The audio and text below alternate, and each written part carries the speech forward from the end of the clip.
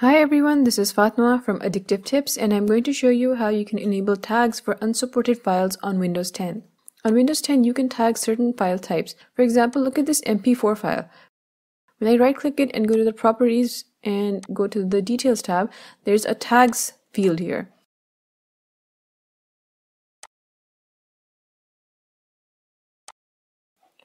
If I go to the properties for this PNG file and under the details tab, you can see that the tags field is missing.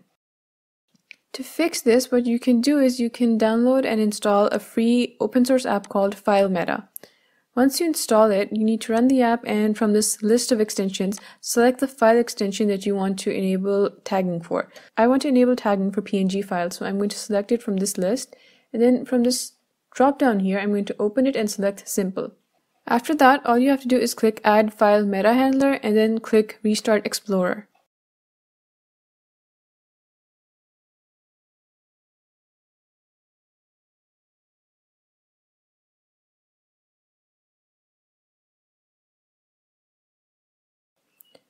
And when I go and right click this PNG file and I go to the properties, then the details tab, you can see that the tags field has been added.